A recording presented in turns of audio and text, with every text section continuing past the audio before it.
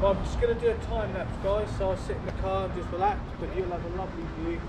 So, catch you in a bit. Bye bye.